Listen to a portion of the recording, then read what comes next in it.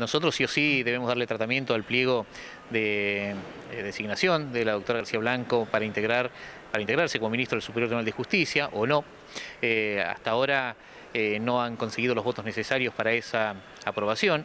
se requieren 18 voluntades de los diputados, del total de los 27, que voten afirmativamente la designación de García Blanco.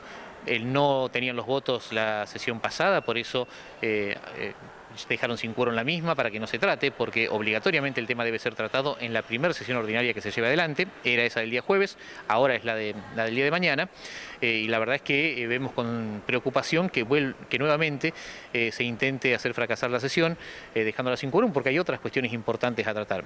sin ir más lejos, este endeudamiento que el gobierno provincial en principio estaría enviando el proyecto a la legislatura es una cuestión imprescindible según entiendo, para el propio gobierno provincial y también para los municipios. Esto creo que no se ha visto nunca, eh, que se llegue con un pliego hasta la sesión y que no estén los votos necesarios. Eh, bueno, deberían pensar quienes están impulsando esto, quienes están dispuestos a acompañarlo, eh, que algo no anda bien. En tal caso creo que ya en este punto debiera la propia doctora evaluar la posibilidad de retirar su propuesta si es que, no, que sigue sin alcanzar los votos. Acá debería estarse evaluando qué tipo de justicia queremos, qué tipo de superior tribunal de justicia nos parece que debe eh, tener la provincia del Chubut y dejar de hacer favores políticos con estos cargos de tanta relevancia institucional.